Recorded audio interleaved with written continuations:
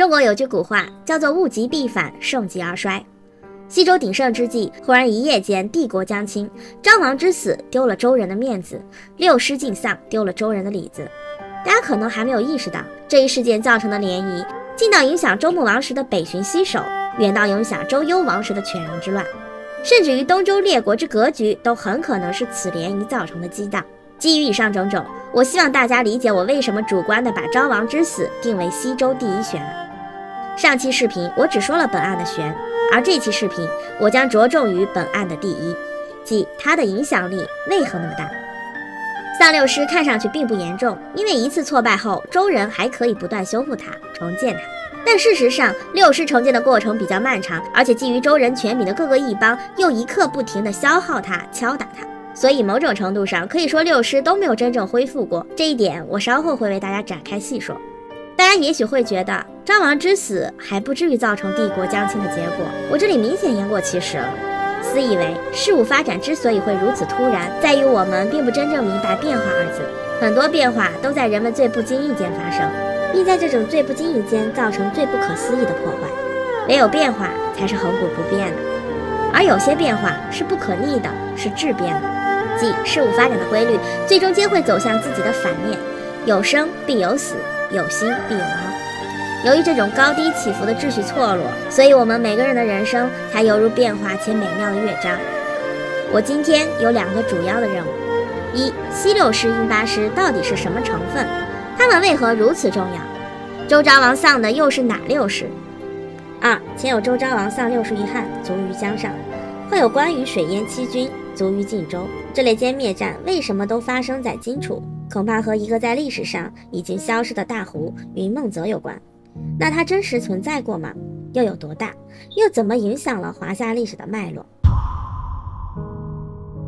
国野制也称乡岁制，乡是贵族居住之地，岁为平民居住之所。天子诸侯居于都邑，亲族居于都外的乡，乡人的集合统称为国人。和这些亲族关系疏远或被征服的部族居于远离的野比为岁，岁人的集合统称为野人。今人自谦说鄙人，正源于国也制。西周时的国人有权议政，亦有纳军赋、服兵役之义务，而野人则是不能参军的。西六师、殷八师的军事制度正是基于周人的这套政策。国都及近江划分为若干乡，采用五家为比，五比为旅，五族为党，五党为州，五州为乡。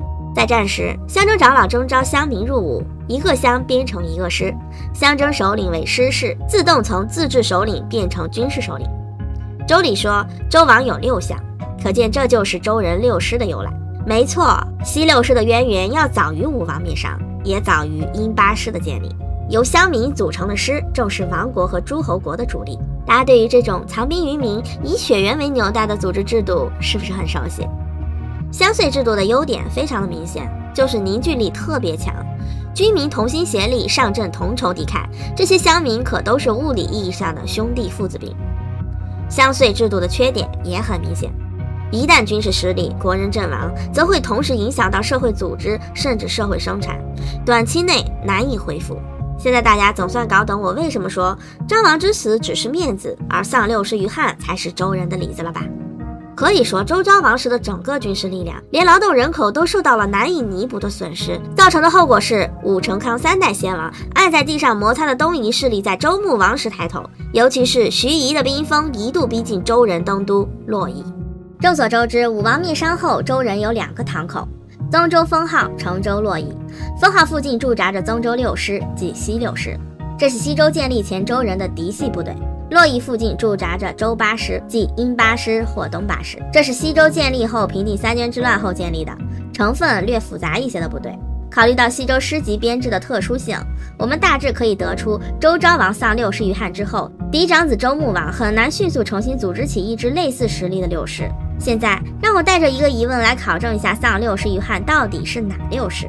如果是殷八师中的六师丧于汉，那周穆王的北巡西守就是征召西六师出征；而如果是西六师丧于汉，那周穆王的北巡西守就是征召殷八师出征。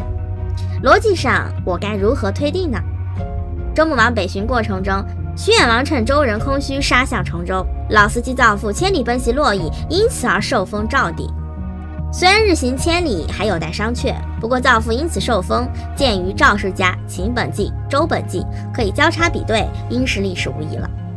我们试想一下，周穆王如果带着西六师出征，那洛邑是否还有殷八师防备呢？如果是这样，徐衍王敢趁机作乱吗？我认为不敢，因为武成康三王时期都在对东夷用兵。东夷势力应还没有力量对抗周人的正规军，所以我认为徐远王是知道洛邑空虚才去偷家的。为什么说此刻洛邑防御空虚呢？因为种种迹象表明，丧六十余汉后，周人只有一个堂口有兵了。周穆王北巡带着六师，那洛邑自然就没什么兵守卫了。如果他父亲昭王时被灭的是殷八师中的六师，那周穆王带着的就是西六师，而留在洛邑的就是殷八师剩余的两师。按西周一师两千五百人算，两师就是五千人。那是不是这样呢？我主观且负责任地认为，周昭王丧六师于汉，这六师应是西六师。理由如下：理论上，西六师守卫周人老家关中平原，殷八师守卫周人新家河洛平原。看起来这两大堂口没有军队换防的需要，但事实上，无论周昭王带西六师巡守，还是周穆王带西六师巡守，西六师都势必会有一次换防到成州洛邑。从这一点上，至少说明了六师驻防的地点是会随着天子需要而发生改变的。此外，大家都知道我看重考古，我也自有压箱底的证据。一九五五年，陕西宝鸡眉县出土了黎方仪，此青铜器铭文如下。这件青铜器断代在周共王时，我们可以看到周天子命令黎管理六师和王行的三有司，即司公、司马、司徒。一般认为，司公管理工程，司马管理军队，司徒管理土地和人口。由此可知，六师王行应该都是有其耕地的兵屯部队，六师并非脱产的全职业化军队。在周昭王难守的军事行动中，不明缘由的造成了昭王溺亡，西六师全军覆没的打击。这次军事失败让周人进入了西周中期，其扩张速度明显的减慢，开始从一个军事帝国向官僚制帝国转变。西周中期密集出现的册铭经文，正好反映出此时周人的政治面貌。而西六师在上面黎方仪的例子中，应该也得以重建。这一方面是因为此器出土于关中宝鸡境内，另一方面周共王是周穆王的儿子，也大致符合六师重建需要的时间规律。现在我想。张王时丧西六师于汉，应该可以算是结论了。这里也有此结论提供一位台湾省学者刘文强的有趣观点。他认为西六师之所以会进改于汉，是因为被刺西六师的恰恰是地头蛇殷八师，这是一次左手和右手互搏的恶性事件，也恐怕是周人对昭王死于汉水讳莫如深的真正原因。我虽然没有采用他这一说法，但不得不承认他的这一假设非常的大胆，但暂时还缺乏过硬的考古证据。再次按下不表。简单总结一下我们目前的进展：丧六师于汉是西六师，而重建西六师大约花了两代的时间，即周穆王到周共王。周穆王西守犬戎带的是殷八师。目前还有一个西六师进相的影响，为什么那么大，还没有解决。周穆王西守犬戎带着殷八师中的六师，我们以往的解读是周穆王是炫耀武力，现在看来，随着自己解读的深入，而更可能修改我以往的这一观点。翟公谋父不想对付犬戎，是为了不想提前树敌，直到西六师重建之后；而周穆王则知道犬戎不一定会给这个时间，在犬戎动手前，周人应该联络河套附近亲近周的方国，让他们知道周人的实力还健在。基于这样的原因，周穆王北巡西守的路线也自然就说通了。这更说通了周人为什么会在这个时候需要西王母之邦对犬戎的牵制。值得注意的是，从西周中期开始，重要的军事行动中已经出现了诸侯的军队辅助天子军队征伐的情况。班轨铭文中对东部方国的军事行动由毛伯班指挥，吴伯、吕伯协助。这位毛伯班的权力是从谁那里来的呢？是从郭成功。铭文王立毛白跟郭成功府。这个“公”字据考证是继，就是继承的意思。虽然毛伯班不是郭成功之后，但经济要职在同姓贵族中继承也不是奇怪的事儿。知道西国国权力的朋友就知道，恐怕正因为穆王室已经没有西六师，西国国暂时更重要的职责是守土有责，守好关中平原西大门的大散关。而哪怕周共王时期重建西六师，但西六师的战力显然已经和当初灭商时不可同日而语了。宗周封号因顶不住犬戎的攻击，周夷王时被迫迁都东犬丘，迁都后改名怀里。这显示出西周中期周人已经在拆东墙补西墙了。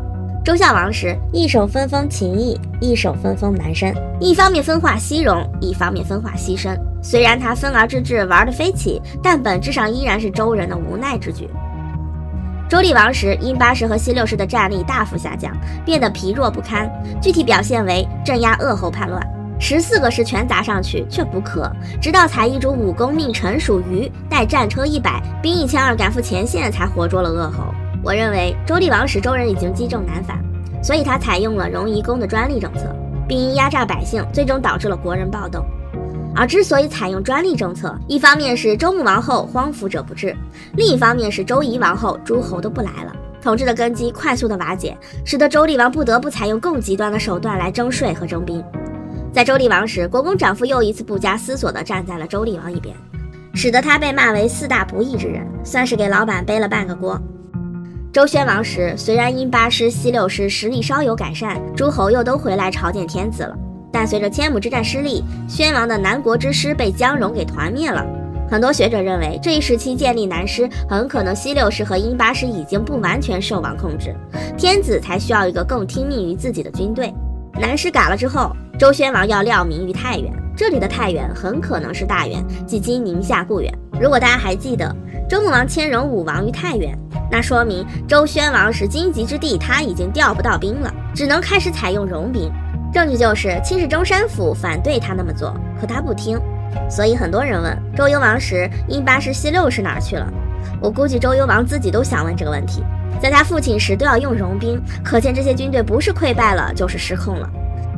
现在还有人觉得周昭王丧六世于汉不是西周第一悬案吗？现在我们似乎搞懂了张王之死为何是西周第一悬案，也明白了丧六世于汉对西周为何有那么大的影响。但悬案似乎悬而未决。无论是白朴陷害说、楚人劫杀说、自然灾害说或因八世内乱说，归根结底，我们都还要解决一个大矛盾：天灾或人祸为何能一次就实现对六师周天子的全歼？如果是天灾，什么灾害能如此精准打击，而没有触及附近的楚国和曾国？如果是人祸，什么人能全歼周师而不招致打击报复？想来想去，天时地利人和之中，我们还有天时和地利没有讨论。有了方向，就会有方法。我在时间上锁定两千到三千年前，地理上锁定金满金楚。于是我就发现了一个被人遗忘在历史角落的大云梦泽。至少在地理上，三千年前他留下了周昭王和六师。两千年前，他留下了项羽水淹七军和败走麦城；二十五年前，他留下了大洪水和抗洪抢险的故事。数千年间，云梦泽似乎依旧是那个云梦，但云梦又似乎已不再是那个云梦了。在唐朝时，诗人孟浩然有云：“气蒸云梦泽，波撼岳阳城。”不过，他那会儿所见的云梦泽和先秦时的云梦泽相比，已全然不是一个东西了。在西汉时，司马相如的《子虚赋》对其面积范围做了描述，用现在的地理概念表示，即云梦泽方圆九百里，东到今湖北大别山，西达巫山脚下的涌泉清池，北临今湖北大洪山区，南至今长江以北洪湖地区，差不多囊括了今天的武汉、仙桃、荆州、天门、孝感、武氏和周边大部分地区。如果司马相如所说的云梦泽真的那么大，那今天的洞庭湖、鄱阳湖，甚至青海湖，在他面前也都只是个弟弟。那云梦泽是不是真有如他说的那么大呢？对此，我是持怀疑态度的。要搞清楚云梦泽到底有多大，我们就要回到科学上来。今人对云梦泽的了解，绝大多数时候是通过历史地理学之父谭其骧先生的《中国历史地图集》和他的一篇文章《云梦与云梦泽》。他认为云梦泽是一个包含湖泊、沼泽、滩涂、林地、山地以及居民工地等多种湿地和旱地类型在内的大型湿地，更像云梦湖的地质和生态系统。简单说，云梦泽只是云梦地区的子集。主流观点也普遍认为，古云梦泽的范围横跨了长江南北，主要集中于长江汉水间的江汉平原，即长江像今日穿过洞庭湖一般穿过了云梦泽。我们先抛开晦涩难懂的地理概念，以今已知鄱阳湖为例，枯水期它是河，丰水期它是湖，经科学测算，它丰水期的面积是枯水期的十几倍。由此可见，长江流域的大湖恐怕是有穷和达两个状态的。有了这些概念，我们就可以简单归纳一下：云梦泽是个吞吐型湖泊，穷则湿地沼泽，达则烟波浩渺。二零二三年十一月，世界湿地大会在武汉召开，地质学专家也重新对古云梦泽定性。夏商以来，江汉平原大规模的湖泊群是中国最大的淡水湖泊群，江汉湖群的前身。简单总结一下，云梦泽应视为一个不断变化的概念，每一个特定历史时期，它的面积和位置是有所不同的。总体而言，在商周之际，它的疆域最广。达到了方圆九百里，而在丰水期可能能达到四万平方公里。随着汉水、长江带来的泥沙在江汉平原沉积，最终它的面积逐渐减小，并在北宋时最终在陆上消失。现在只有一个云梦县能大致证明它曾经存在过。云梦的云出自武王之墓的云国，此云国《左传》里也写作云，为云氏。云国旁边的河流就叫云水，即今日府河。云国处云水中游，因此称其为云中。而梦在楚国语言中就是胡泽，《楚辞招魂》与王屈梦兮克后先。东汉王毅注解着梦字说：“梦则中也。”楚人名泽中为梦中。云梦泽到此算是说完了。但很多人可能不理解我为什么要说云梦泽。因为西周的历史，我们只有只言片语，而青铜器上讳莫如深的周人也大体不愿谈论当年昭王之死的经过，那我们只能绕路去找类似的记录。找来找去，我认为最值得参考的就是关于水淹七军。诚然，水淹七军是《三国演义》中的故事，不过历史《三国志》中也有类似记载。两者最大的不同在于，《三国演义》认为水淹七军是关羽主动之计谋。而《三国志》对此认为是天灾外加上关羽将计就计之计谋。我知道很多热爱《三国演义》的朋友不乐意了，这是对武神的污蔑啊！我也知道很多热爱《三国志》的朋友也不乐意了，这明明就是纯的自然灾害的。水淹七军是一场经典的战役，关于秦、于禁斩庞德，威震华夏，成为历史上关羽最辉煌的一段生涯。在《三国演义》中，反映的是关羽有意蓄水。然后再进行决堤的水攻，而在《三国志》中等正史记载中，关羽既没有蓄水，也没有决堤水攻，而是因为暴雨导致了当地汉水溢流害民人的自然灾害，使得于禁等人被大水所困。虽然以上是网上对此事的普遍共识，不过《三国志》固然是正史，但我认为网上的这类解读并没有还原出历史的真相。如果把水淹七军完全归结为天灾，那就犯了扩大化的问题，因为如果只是纯天灾，按理说也该是众生平等才对，为何关羽的军队就没事儿呢？很多人会修复这个 bug，说那是因为关羽准备充分，而于禁他们准备不足。那么问题来了，要准备多充分算充分？又要准备多充分才能算作是关羽主动之计谋呢？让我们先往回拉一点，先明确水淹七军发生的时间。曹操死，曹丕继位前，在狭义上还处于东汉末年。即二二零年十月前，而关羽水淹七军发生于二一九年七月，到十二月关羽被杀，按公历算大约是二二零年一月底。在时间上，二一九年的水淹七军发生于东汉末年，在地理上发生于襄樊，即今日的襄阳。襄樊坐落于汉水边上，云梦泽的北端。《三国志·庞德传》记载，樊下平地五六丈。按东汉一丈二百一十三点五到二百三十七点五厘米计算，襄樊水深十到十三米，相当于三到四层楼那么高。